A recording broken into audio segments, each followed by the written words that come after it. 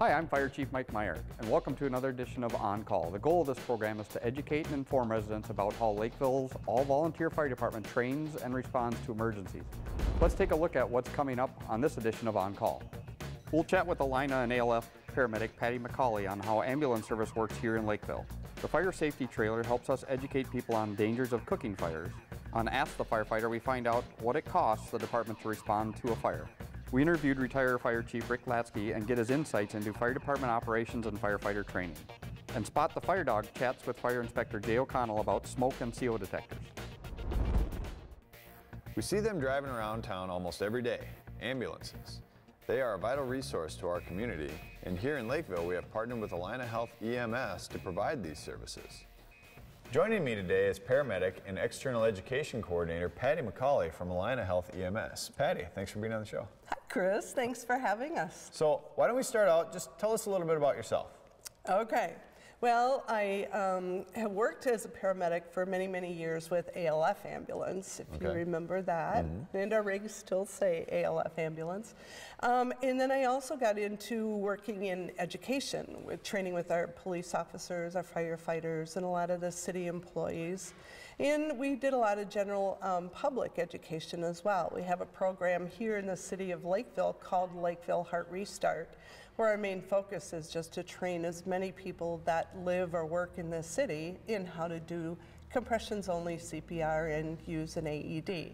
So um, now with Allina Health EMS, my job is primarily education still for the three cities. And you'll see me on the ambulance every once in a while, but most often in the classroom. Okay, so you, you, you say Allina Health EMS, and we can see ALF on the ambulance. Can you tell us um, what the, what's the difference, if, if there is one? Sure. Um, actually, ALF Ambulance, um, the three cities of Apple Valley, Lakeville, and Farmington still own the ambulance service here. Okay. Um, and you will see Allina Health EMS on the ambulances as well. And the reason for that is a few years ago, the three cities decided to have someone come in and run the operations of the ambulance service. So we became Allina Health EMS employees, and that's why you see Allina Health on the ambulance as well as ALF.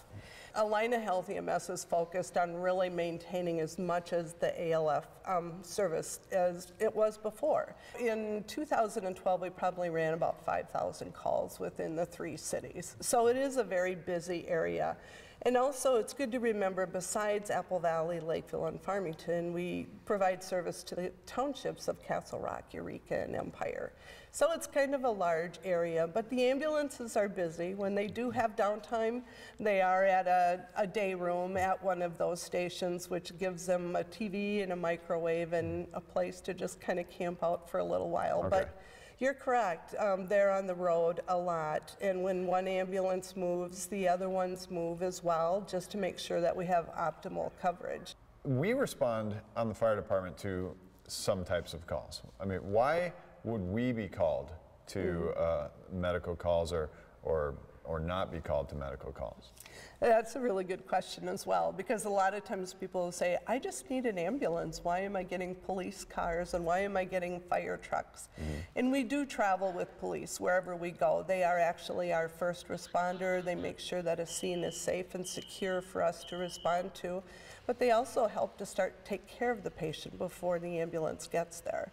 We do sometimes request that the fire department come with us as well, and that's because we really need those extra hands. It kind of depends on the nature of the call. So if we have someone who is unresponsive or maybe someone that fell off of a roof, we're going to really need some help in making sure that we can take, take care of that patient at the best level that we can provide. So sometimes it just helps to have those extra hands so we can make sure that everything gets done and gets done quickly. I mean, I know you guys are on calls when we have fires, and then sometimes we need help. And I've been in these trucks plenty of times, but would you give us a tour of the truck right now for those who've never seen one? Oh, yeah, I'd love to. Perfect. Sure. All right. Okay, now we're inside the ambulance itself, and and um, while I've been in these before on calls and, and, and whatnot, um, why don't you tell us what we've what we've all got in here? Okay. Well, we do like people to see the ambulance this way, and w- there are just a lot of things to look at. It's almost kind of like a mini emergency room Yeah. because there's a lot of things that we can do to take care of you, not only at your residence, but also in the back of the ambulance. Um, some of the things we have in here is this is our heart monitor. We can actually do a 12 lead EKG right at your house to diagnose if you're actually actively having a heart attack or not. We have oxygen equipment to help you breathe. Yep, right we here. even have um, OB kits. So if we need to deliver a baby in the back of the ambulance, we can do that too. And I've done that. So um, we can just do a variety of things. And that's really just to be able to, again, take care of you the best that we can. Well, we've got this uh, this uh, cool little machine set up right here. Why don't you tell me what what we're looking at um, on this uh, this little Mm. Dummy here? This is called a Lucas machine, and actually, what it is is an automated CPR machine. So, remember when we were talking before about having the fire department respond with us because we need those extra hands? Well, a lot of times that happens when we have to do CPR. CPR is physically exhausting, so we need a lot of you to help us be able to continue CPR mm. with that patient that needs it.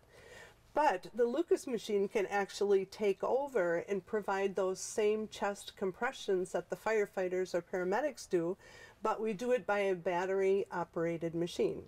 So if you want to go ahead and turn the Lucas on, we've got them all set up here. This Yep. is what it would look like for a patient needing CPR. Yep. And then we just turn the button on on Yeah, the we've top. got the board underneath and the the Yep. machine up here and the plunger thing right there. And yeah, if we fire it up,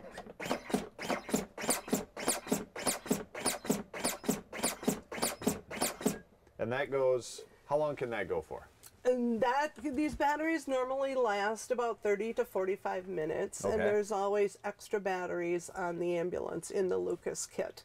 So if we need to switch out that battery, we can easily do that as well. And so, then this provides a consistent uh, depth, uh, rate, and and and, Yep. and actually almost pulls the chest up as well. Am I right with this suction cup? Exactly. Yeah, it's the most effective CPR that you can provide, short of having someone that's in there just, you know, pushing that adult chest down two inches and compressing a hundred times a minute, Mm-hmm. and really providing that upward stroke to be able to let the heart and lungs really fill up with blood and air. So, yeah, it's Well, and then and then it, it also frees you know uh, a responder up to do to do something something, else, else. right. Exactly. You know, we always really love to be able to go out into the general public and just maybe do an ambulance demo Mm-hmm. or if somebody is interested in that CPR program, Lakeville Heart Restart, those programs are free.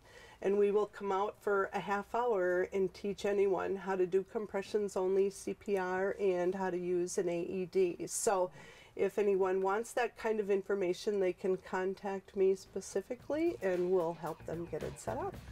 Well, Patty, this has been very informative today, showing us the truck and explaining how you guys work with uh, Allina Health EMS and and what you know how we, you work with the fire department. So, thanks for being with us today. You bet, Chris. Thanks for having us. Absolutely.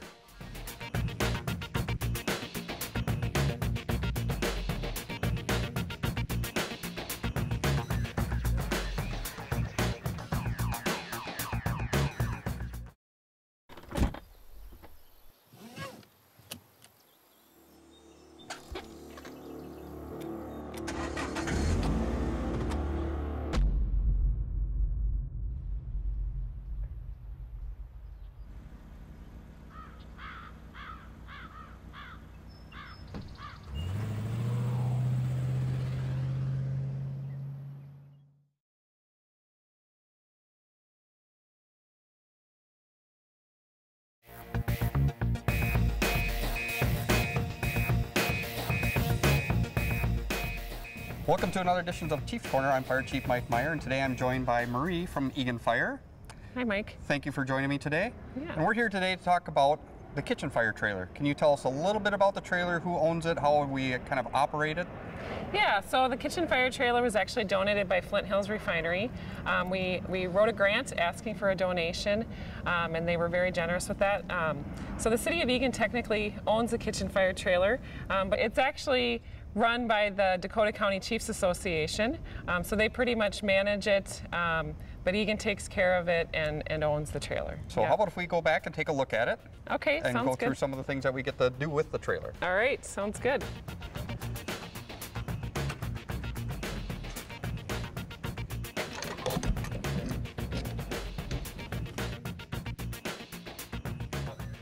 All right, Marie, now that we have the trailer open, let's talk about some of the, the props that we have for demonstrations on our kitchen fire trailer. All right. Um, so basically, we start off. We just use you know regular kitchen corn oil, nothing fancy about it. Um, you pour about an inch of corn oil into the pan. Um, so once we light it up, um, you know we would pour it in there. We'd have our inch of oil. Um, we put it up on the stove. We just heat it up just like you would at home. So if you're going to be frying chicken or fish or whatever it is that you're cooking, um, we let that heat for about 10 minutes or so. Um, and then as part of the demonstration, that actually, you know, after about 10 minutes, it'll ignite. It'll actually start on fire. Okay, and then as as we're waiting for that, we actually kind of give them pointers or the proper way if it does catch fire. So- Absolutely, that's the whole point for us is um, is to teach them, you know, what to do and um, and what not to do. So don't let the fire start in the first place. Um, if this pan did light on fire, um, the first thing we always want to do is people have all these wonderful things in their cabinets. They're called lids, and we take our pans out and the lids fall all over the ground. Um, but we often forget that those lids have a purpose. So get those lids out and have them on the counter. So if you have an accident, the pan starts on fire, you can just slide that lid on there and turn off the heat source. Yep. And um, that'll put the fire out for you. So Marie, we talked about you know the, the proper way if you do have a grease fire. So what are the don'ts if we do get to that point? You know, that's really what this demonstration is all about, and it's what not to do. Don't ever put water on a grease fire. Let's talk about some of the other things that we have kind of sitting right here. All right. Um, one thing, if you are somebody that really likes to fry a lot, we really suggest that people get fry daddies. These have um, an element in them that will prevent the oil from overheating. So if it senses that the oil is getting too hot, it actually kind of cools off, so to speak, so it doesn't let it overheat and ignite and cause a fire in the first place. Okay. Um, and we have one that's back here. Yeah, so this is seems silly, but we actually, you know, probably 11% of the time that we have these kitchen fires, um, it's due to the fire, or the stove accidentally being turned on. Um, so these knobs are perfect. They can be used for little kids, pets. We actually have had a couple um, fires in Eagan that, you know, a, a pet jumped up and got their paw on there and and flip the um, burner on. So this will prevent them from accidentally turning the burner on. You put it on the knob. Um, when it's closed, it just sort of freely spins. But when you need to actually, um, you know, use it, you can open it up and, and turn the stove on easily. All right. And then the last one, we have two items, but the last one is the fire stop. So tell us a little bit about that Yeah, the fire stop's a great technology. It's essentially, um, it looks kind of like a tuna can, but there's a fire retardant inside of it. So it'll spray out kind of like a fire extinguisher would. Um, that'll put the fire out for you. So say um, it's not a small contained fire and you can't get the lid on it, it might have gotten away from you. If it's larger, that fire stop, the wick on it will melt, but it'll put that fire out for you. So you're not having to put yourself in the danger zone cooking is the number one cause of fire, but um, kitchen fires are actually like the third leading cause of accidental death. So people trying to put that out and injuring themselves, and so this will put it out for you. Okay. And these we can actually find at Home Depot, any of the kind of the major. Yeah, any of your, even your smaller hardware stores, if you ask them, they'll order them for you. Um, so if you have a favorite place that you like to go, excellent. You know, just talk to them, and, and they're usually pretty happy to order them for you. So. All right. Well, thank you for showing us the trailer today. This is a Yeah, great sure. tool that we have in the Dakota County, and I appreciate it. All right, great. Thanks for having us.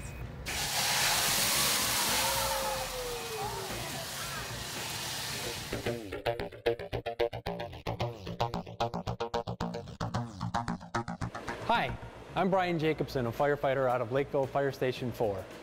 And today's Ask the Firefighter question comes to us from Bob. And Bob wants to know, how much does it cost the fire department to respond to a fire? Thanks for your question, Bob. It does cost money for the fire department to respond to a fire call, but not just a fire call, also to medical alarms, CO alarms, and car accidents.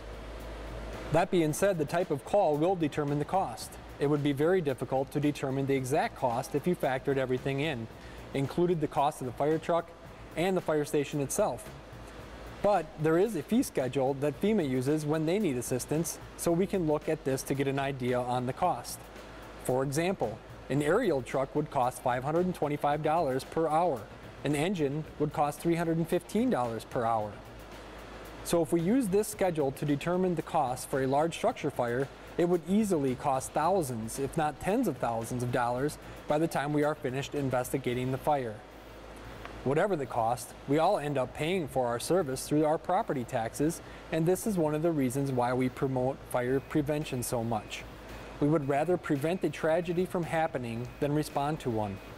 Typically, we do not charge for our services, but occasionally we will send a bill. An example would be someone doing an illegal burn, or if we would be asked by FEMA to respond to a disaster out of our service area. Thanks for your questions, Bob. If you haven't asked the firefighter question, use the contact information on your screen.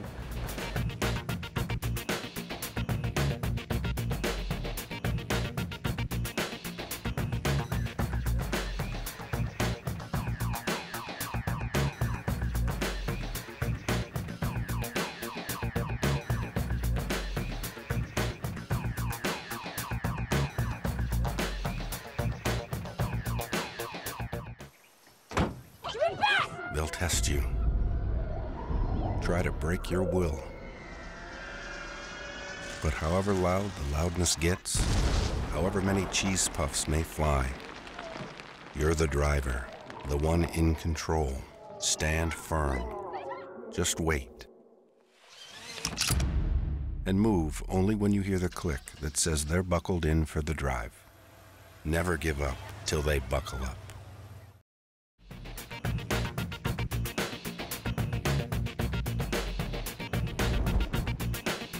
Welcome to another edition of Chief's Corner. I'm Fire Chief Mike Meyer, and today I'm joined by Chief Lasky. Welcome.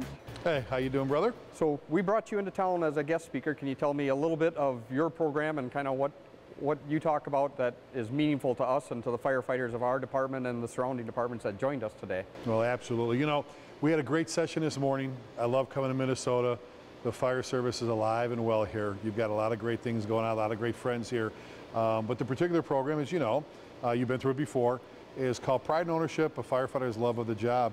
And uh, basically what we're looking to try and do is stoke those flames, no pun intended, when it comes to being a firefighter. It's, it, it takes a very special person, as you, you're well aware of, being a fire chief as long as you've been doing this, um, to be a firefighter. Um, that being said, we need someone who's engaged. We need someone who realizes that everybody else out there, outside the firehouse, depends on us. From little children to senior citizens to the businesses to, to keep their livelihood protected, to protect their home, their belongings, and most importantly, their family. So, you know, the whole goal is to get them fired up about what they do again, or even more if they already are, um, and turn out a, a much better uh, public servant and someone who's engaged and there for their people all the time. We talk about bringing our firefighters to the next level and by bringing them to this program or bringing you in to talk to them, tell me a little bit about how, what that looks like and, and what we're looking for out of our firefighters to, to move to that next level. Well, and, you know, the first part of the program was about the mission of fire service and what it is we actually stand for and represent. And you know, a lot of people that grew up reading the books in school and they see the TV shows and all that, and they think of firefighters just as we're waiting, sitting around the firehouse playing checkers, waiting for the bell to ring, which, as we both know, is not correct at all. Firefighters are busy the majority of the day. Um, there's so much more to firefighting nowadays than it was when like my old man, my father was a firefighter back in the 50s and 60s. Um, the technology, uh, we're trained in weapons of mass destruction, we're trained in technical rescue and hazardous materials, not just the firefighter. EMS, look how far EMS has come. So when we get firefighters to understand what the mission is of the fire service, even more so than just fighting fires, they begin to reach out, Chief, and you've seen this, your, your folks do it, into the community in ways that people have never really seen before. You know, with their, their, their innovative ideas and whether it's reading to a children, we talked about the literacy program, getting out and reading to children, promoting reading in such a way that not just the accelerated student or the, the bookworm, but maybe the child that might have a little bit of a learning disability has just as good a chance to win a reading contest as that other child. And if we're trying to build their self-esteem and self-confidence, what a great way to do it by saying, hey, we'll, we'll, we'll, give you a tour of the firehouse and maybe even sneak you right on the fire engine. So you start to see these fingers reach out into the community and the firefighters get more involved, they take ownership.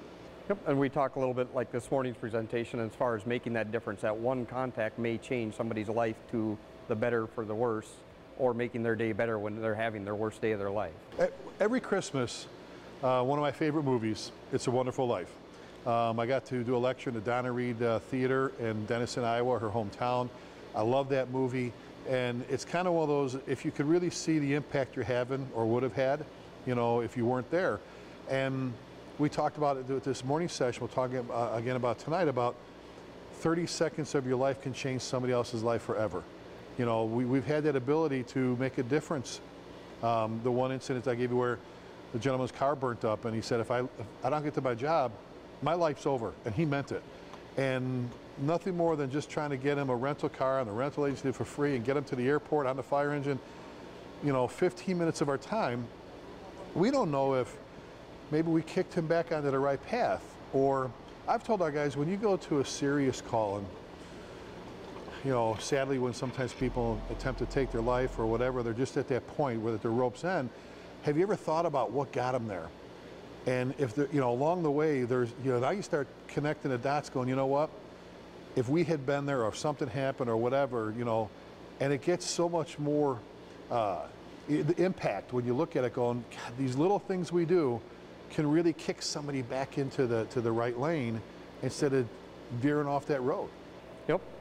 So thanks very much for doing the interview today and being here for us. And, and I, the side note is, and we kind of talked about it, is I saw you first present your pride and ownership at FDIC, and I have your book, and I'll show it to you. But uh, on a side note, when I interviewed for this position, and I had to sit in front of City Council and the firefighters and the, the panels that we did have, I actually brought your book in, and and when they talked, when they're asking, you know, what are my values, and it's a simple answer. When I go, when we went through your program at FDIC, and I literally read your book and highlighted every page that I thought of.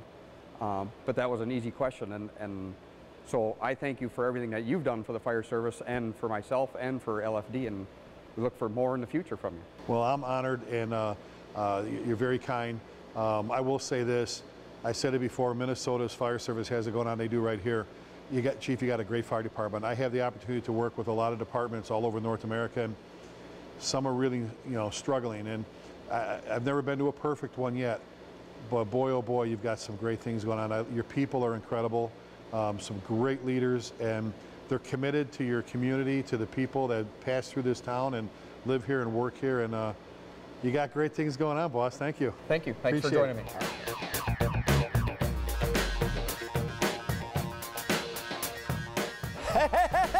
Hey there, everyone. It is me, Spot the Fire Dog, because I like to spot and stamp out the fires. Hey, this month I'm here at station number four, and I'm going to meet with Fire Inspector Jay O'Connell to find out all about smoke and CO detectors. Hey, Jay, I'm coming!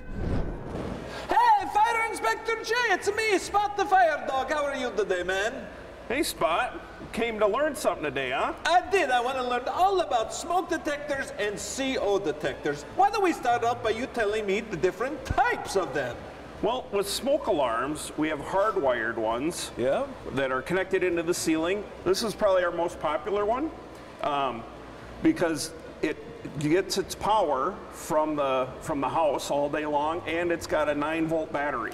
Now, with smoke alarms, we do have some different types. Th- This is a very old model. Oh, hey, I've got four of those in my house. Yeah, then you probably need to replace these.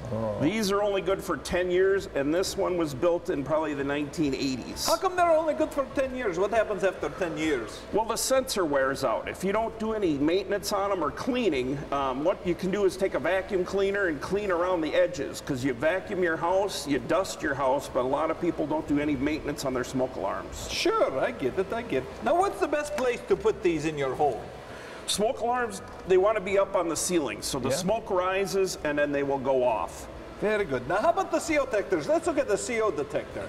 What, uh, what, what's the best thing to do with those, Jay? Well, carbon monoxide alarms, uh, we put a law into place, and you need to. Everybody in Minnesota needs to have one that's heating with gas. Carbon monoxide is a colorless, odorless gas, so you won't know that you have it in your house. So this meter, we'll show you a, a Nighthawk here. Okay. All right. This one will detect when there's a level of gas in your house. Okay, that can happen if your dryer vent is plugged. Um, that'll cause it if your furnace gets plugged. That's why you want to do annual maintenance on your furnace to make sure you don't have CO in the house. Will it go off if your family has a bunch of tacos?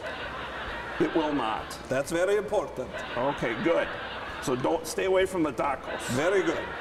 But what I like about this one here is it's got a digital readout. Yeah. Okay, so this will tell you how many parts per million. Hey, Jay, this has been so exciting, but my final question to you is how do I choose? There are so many different brands and kinds. I mean, help me. What do I do? I know. That's why I'm here. You can give me a call at the fire station if you need to. Yeah. Okay. Um, I do like the wireless unit, and then I would like a standalone carbon monoxide unit. Those with are the your peak recommendations? Yep, that would be my, my recommendations. for you. Excellent, Jay. Well, I'm going to put these in my doghouse right this afternoon after I go and buy these. So thank you, Fire Inspector Jay, so much for your time today. You're welcome.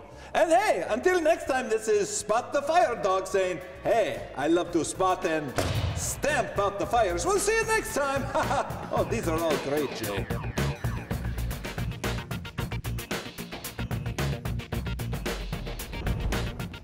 Thanks for joining us for this edition of On Call, and all fire units are clear.